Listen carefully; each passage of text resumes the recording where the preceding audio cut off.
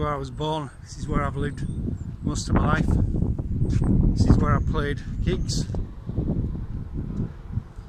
Uh, fell in love, had family. This is a river that I've sailed on many times.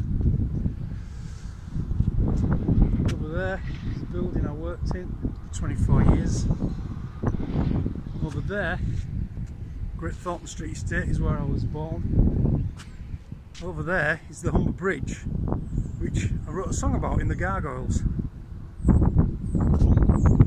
Over there is the Adelphi, right over there, on De Grey Street, where the House Housemartins signed their record deal with Go Discs, and I was on stage for that.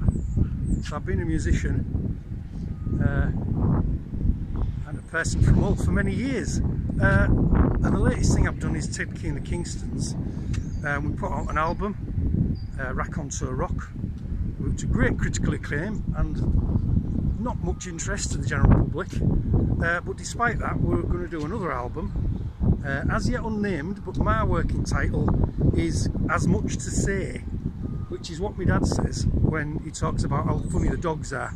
The dogs look at you as much to say, where's my dinner? Anyway, the point of this little video is that I need some money.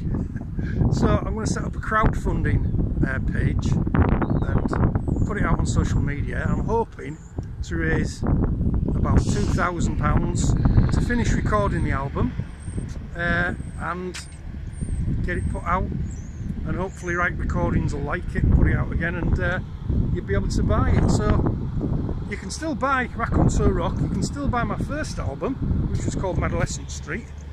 Um, but hopefully if you contribute, then you'll be able to get, uh, certainly get a new album. And who knows, we might have some nice special offers, interesting things for you to see and do.